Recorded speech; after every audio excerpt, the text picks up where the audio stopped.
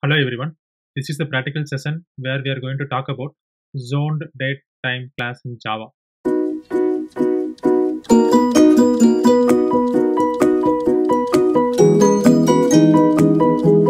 Basically, in Java 1.8, Oracle developers created a package called java.time, right? This package they have introduced a lot of new classes and interfaces, isn't it?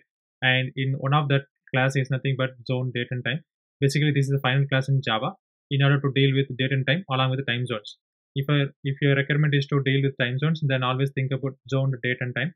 So if I click on this zone date time class in Java, it is nothing but a final class in Java which implements temporal, chronozone date time interfaces and also serializable.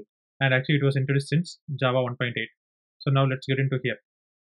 So I have written some of the methods already here and I want to run this program to go from the output to see how it actually works.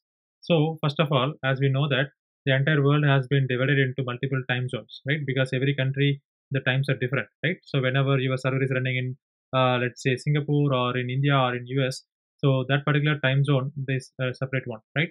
Maybe you may be accessing that application from uh, India, but the server might be running in US.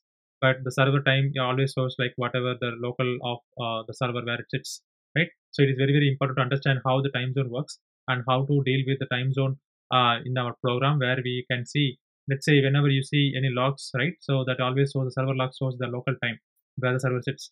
So you have to always convert into your time and then you can identify what when that issue has happened and it will be really helpful to go for debugging any issues in the runtime experience. So as i said like the world has been divided into multiple time zones. So in order to get all the list of available time zones in the world so we have to use this zone id so there is a um, let me click on this one. So there is an abstract class called zone ID. This is also introduced in 1.8. So all the zone IDs has been uh, added here in this in this particular class, right? And then if you go here, zone ID dot get available zone IDs. This is basically giving the set of because this is giving the set of all the zones zone IDs available. You can see here this is output Asia, Aden, America, Cuba. So these are all almost like I think 40 time zones we have in the entire world so this has been uh, this will give the list of or not the list actually set of all the time zones. The reason why I said uh, why I call it as set means uh, there won't be any duplicates, right? If I say list, it means there is a duplicate possible. But that is the reason they introduced this particular uh, method which returns set of the zone IDs. So also let's say I am in US Central, right? And if I want to get the zone zone ID of this one, then what I can do here is zone ID dot off right? If i give this value then i can get the actual zone of that particular um if i give the text i can give the actual zone id object of that one. And also if you want to uh, deal with the local time zone then what i can do here is first thing is local date time right? So in the previous video we have watched about local date time how it works. So what i'm trying to do here is local date time l is equal to local date time dot now which means the current date and time of my uh, place where i'm sits right?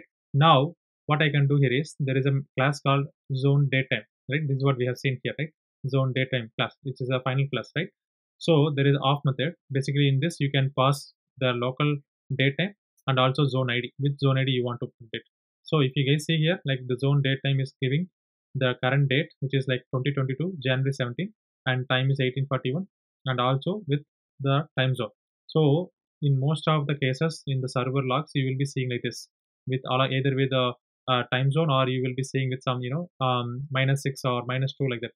There is like nothing but like each gmt plus minus uh, kind of values. You will uh, google it for get the list of all the time zones and how it is related to gmt you will get more idea about it. And second thing is uh, as i said like minus 6 minus 5 right? There is nothing but like offset. They call it as my offset. So gmt um, plus and minus offsets are based on each time zones they have divided. And if you guys see here like zone offset basically if you want to change the zone offset like this is also another uh, final class in java which was introduced in since 1.8 which is same as like you know zone date and time. But what we're doing here is here you can say you know plus 200 which is like you are passing a text and with the help of off method it is actually converting into the zone offset object. And that object of um, zone offset object you're passing it to offset date and time so that you will be mm, you know changing that offset right? If you want to change that offset you can pass it so here what I'm doing here is zone offset date time dot off.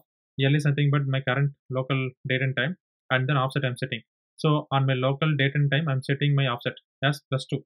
So by default, it was minus 6 and right now I'm setting it to plus, plus plus, plus zero two. So this is the way that you can actually change the offset or you can get the offset, right? So I hope you guys have understood this, you know, uh, concept very clearly. I would strongly recommend you guys to write the same program in your Eclipse and see if you guys can uh, have any other questions, then let me know. You can post in the comments. I will be happy to assist you guys. Thanks for watching. Bye bye.